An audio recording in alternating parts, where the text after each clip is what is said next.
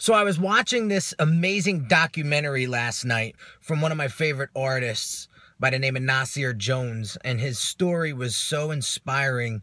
It it it it made me think of this and I wanted to share it with you. So Nasir grew up in in in Queens, New York with not much not much going on.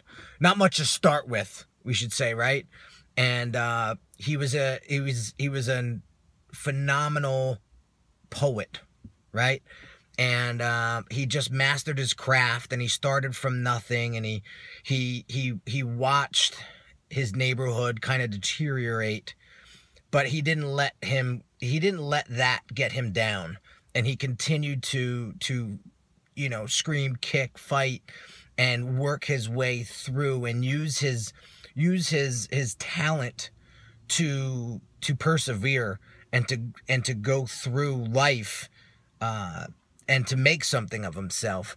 And I think that was super super inspiring. And he he kind of took you through his journey, and it it, it was it was amazing because I list I've been listening to him since 1994.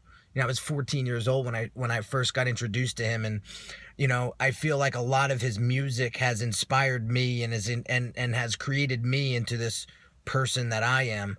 And you know, I, I feel super grateful for that.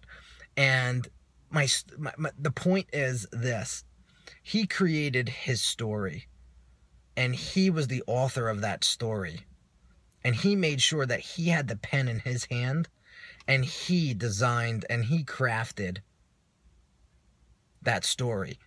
He didn't let life, he didn't let his neighborhood, he didn't let his troubles and tribulations dictate his story. He wrote every chapter. He didn't let anybody else. And that is so important when we're going through life and we realize that we're only here for a very, very short amount of time. So why would you waste even one second of it? By telling yourself or having other people create or design your story. Create your own book, create your own journey, create your own. Everybody is so unique in their own little way.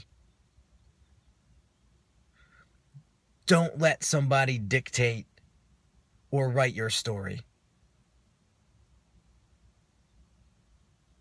Make sure that you value and cherish every minute that you have here. Because that is the most valuable asset we have is our time. So, lastly, you know, we all have to start somewhere, right? You know, if I look back and I showed you some of the earlier design work that I've created in the past, you know, back eight and a half, nine years ago when I first started, you would probably laugh hysterical. It was so bad. But you have to, I started from scratch. You have to start somewhere. But the beauty of life is this. If you set out, uh, you know, if you set out on your passion, and you build on that passion and you just do what you love to do every day, that passion starts to build, that skill set starts to build, that level of expertise starts to build. And now, nine years later, I'm an expert. You're an expert in whatever you do. But so many people give up. They just give up so easily. And they don't understand the power of compounding. And just keeping at it and doing it every day, doing it every day. You got to start somewhere, but don't give up. Don't give up. Keep building and keep writing that story that you want to publish for your life because you only got one and we're only here for two seconds.